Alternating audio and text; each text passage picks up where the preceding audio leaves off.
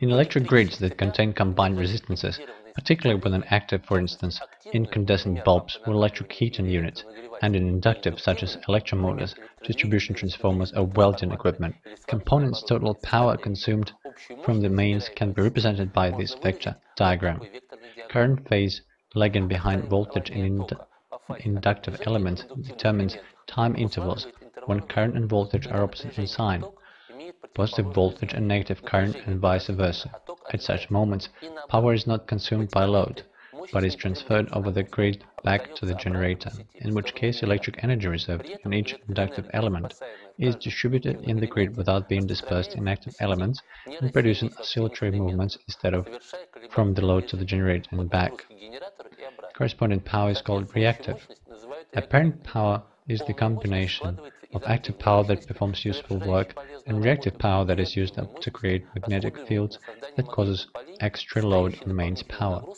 Correlation between apparent and active power expressed as a cosine of the angle between the vectors is called power factor. Active energy is converted into useful one, mechanical, thermal and other energy types. Reactive energy is not related to performing useful work, but is necessary to create the magnetic field whose presence is a must for electromotors and transformers to operate.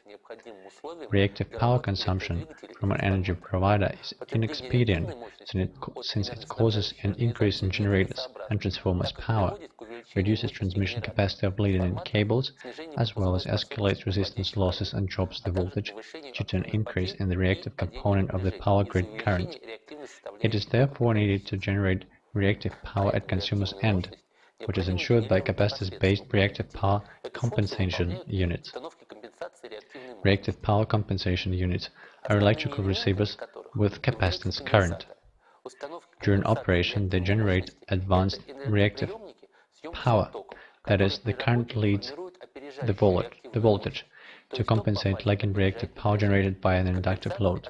To reduce reactive current ratio in the generator load system, compensation devices are connected across a load. Reactive power is then no longer moving between the generator and the load, but is oscillating locally between reactive component, load induction coils, and the compensator.